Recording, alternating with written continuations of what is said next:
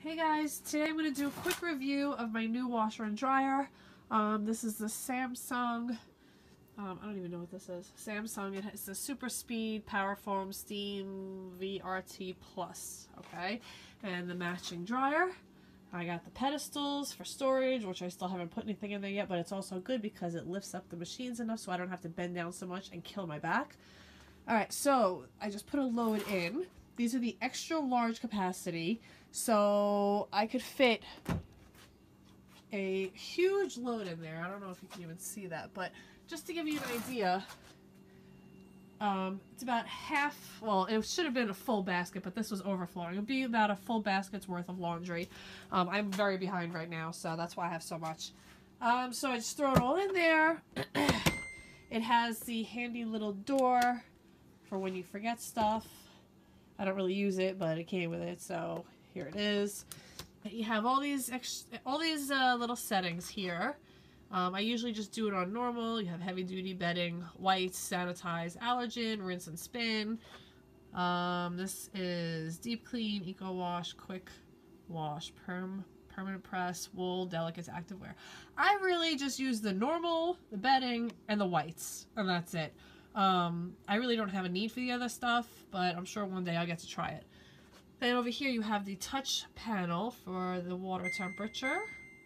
I usually do tap cold, um, high spin, normal soil level. Um, then you have all these extra things. There's pre-wash, extra rinse, extra spin, and steam. Um, I only use the steam sometimes.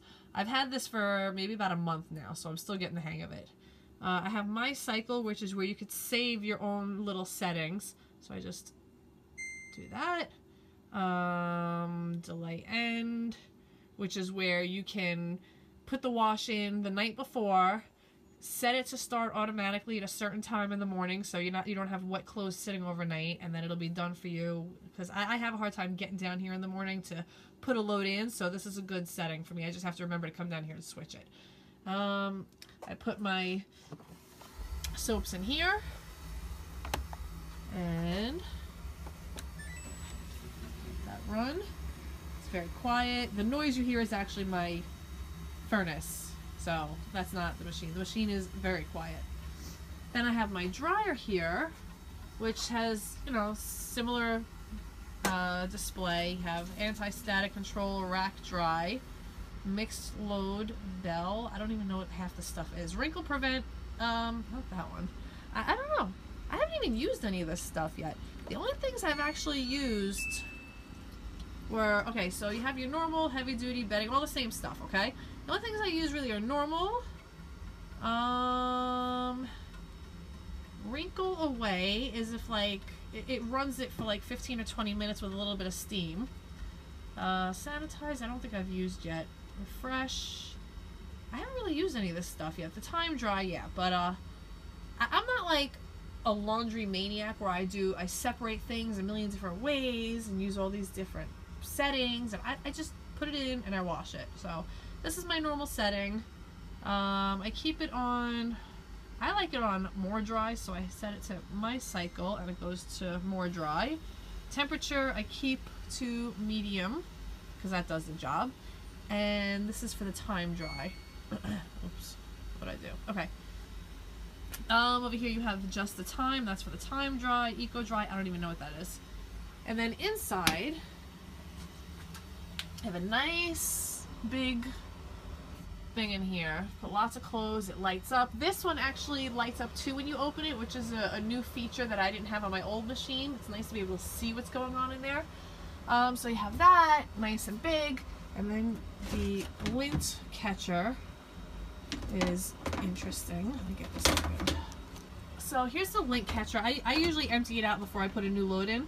So as you can see, it folds, so it kind of holds, I guess it holds more, I don't know. And it just, you just pull it right out. Comes out very easily. I only have one hand right now, so I'm not going to do that. And then close it, put it right back in.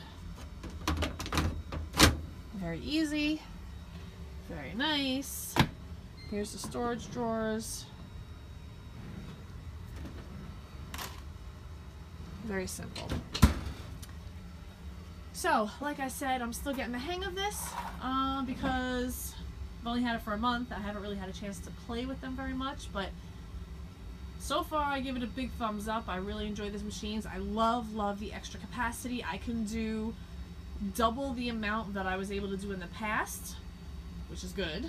And uh, because, especially because I'm really bad with laundry, I'm always behind. Look, this is all the stuff I have to fold. These are all clean clothes that I have to fold. This is only a few days worth, by the way, because my family of six, we build up laundry very quickly.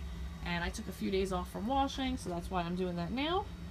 And yeah, I need a nice laundry room that's better organized. So these are my machines. I hope you like this. If you have any questions, please put a comment below and give me a thumbs up and subscribe. And I'll see you in my next video, guys. Thanks for watching.